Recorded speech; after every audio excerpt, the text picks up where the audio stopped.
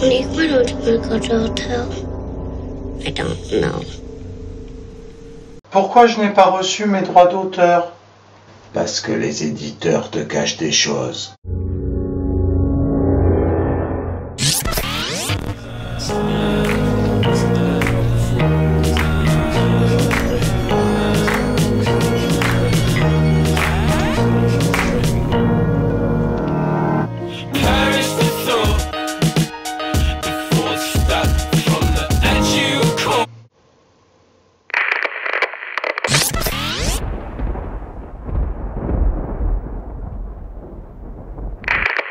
Bon, évidemment, je suis pas Stanley Kubrick, hein.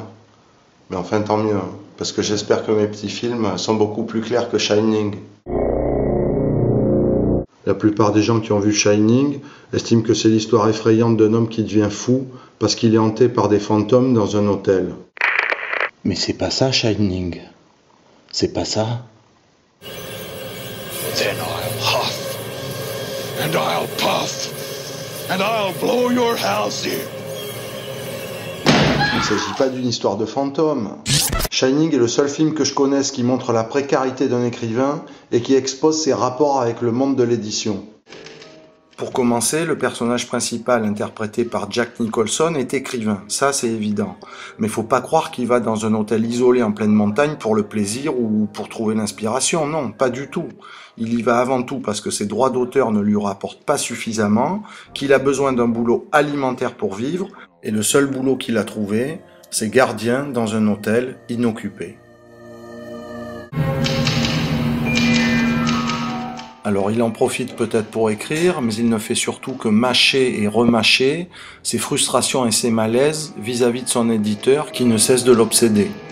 Et ça, Kubrick le montre en utilisant une métaphore dans la fameuse scène de la chambre 237. C'est une scène dans laquelle euh, on peut supposer que Jack Nicholson revit la signature de son premier contrat.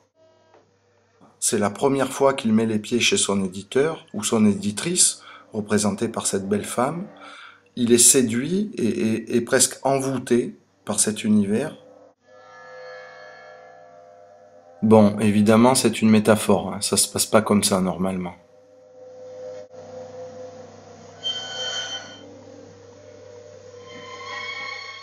Mais après un premier contact agréable, au moment de signer son contrat, finalement, il se rend compte qu'il a affaire à un monde qu'il ne soupçonnait pas, et il est terrifié par les conditions qu'on lui propose.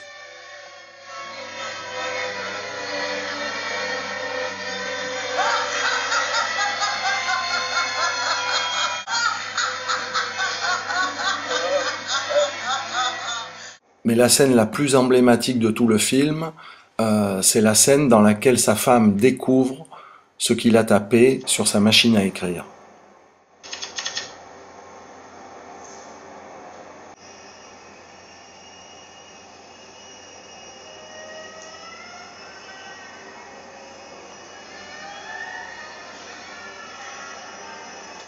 Un tien vaut mieux que deux tu l'auras, c'est vraiment pas là par hasard.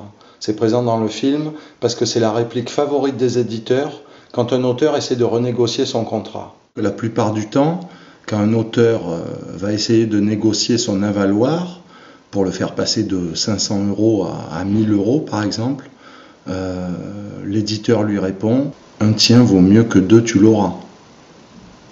Ce qui signifie en gros, euh, tu ferais mieux d'accepter 500 euros parce que si tu vas voir ailleurs, ton manuscrit, il sera sûrement pas accepté. Et Shining est un film qui ne parle que de ça, du début à la fin. Mais on n'a pas affaire à des fantômes, hein. on a affaire à des éditeurs.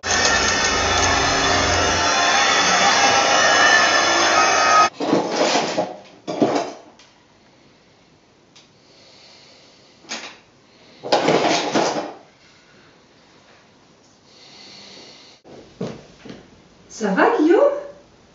Qu'est-ce que tu fais? Je cherche un stylo.